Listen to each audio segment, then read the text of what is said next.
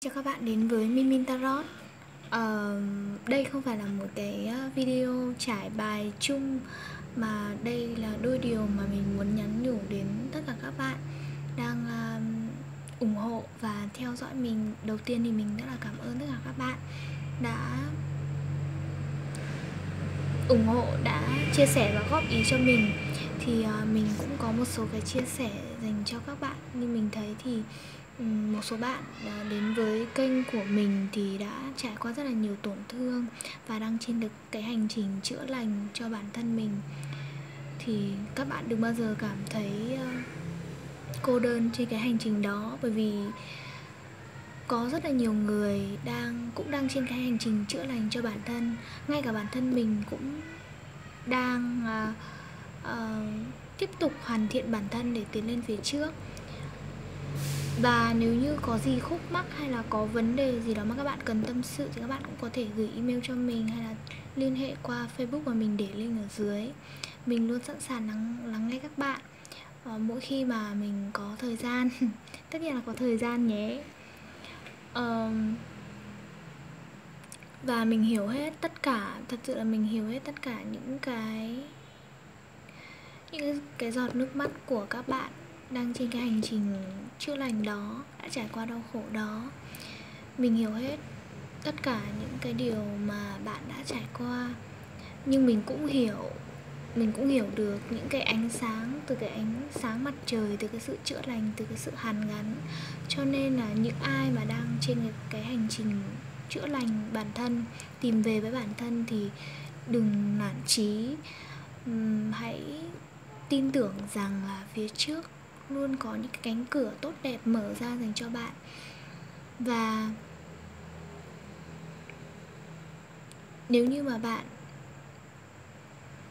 nếu như mà bạn còn đang uh, nghĩ về người yêu cũ hay là chờ mong người đó quay lại thì uh, đó là sự lựa chọn của các bạn thôi. Nhưng mà mình cũng muốn uh, uh, muốn muốn mong muốn các bạn đó là hãy tập trung vào bản thân mình. Bởi vì khi mà bạn trọn vẹn với bản thân ấy thì đến cái lúc mà bạn trọn vẹn rồi ấy, thì dường như là lúc đó cả cái người yêu cũ có quay lại. Chưa chắc gì bạn đã đồng ý cơ. À, mình làm cái video này chỉ để muốn chia sẻ với các bạn đang uh, trên cái hành trình chữa lành.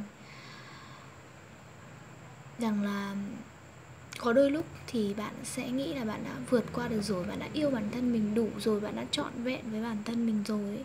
thế nhưng mà đã có lúc bạn nghĩ thế thế nhưng mà có đôi lúc thì bạn sẽ uh, bạn sẽ bị dường như là cảm thấy mình bị kéo lại vào trong cái cái cái đống bùn lầy lúc trước cái sự đau khổ của lúc trước.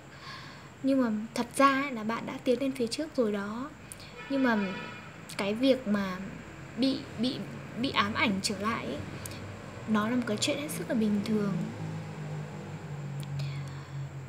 Và chắc chắn là bạn sẽ có thể tiến lên được phía trước với sự quyết tâm của các bạn. Mình thật sự chia sẻ với tất cả các bạn.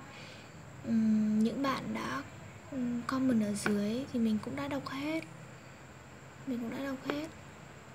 Cảm ơn các bạn đã luôn ủng hộ và các bạn hãy nhớ đăng ký kênh và uh, ấn like ờ, cái page facebook của mình nhé. Và ngày thì mình sẽ cố gắng giúp cho các bạn thông điệp chung. Thật ra mình cũng chỉ mong muốn là các bạn đang trên hành trình chữa lành ấy, có thể yên tâm rằng là cái sự đau khổ cái sự bế tắc của bạn ấy, nó sẽ không dậm chân tại chỗ mãi, mà nó sẽ tiến lên phía trước. Mình là một người đã đã đang trải qua rồi. Chính vì vậy là mình muốn chia sẻ với các bạn đôi điều như vậy. À và nhớ, hãy nhớ đón nhận những cái thông điệp của mình, những cái trải bài của mình. Hết sức là hết sức là cởi mở. Và đừng cố gắng ghép vào trong hoàn cảnh của bạn.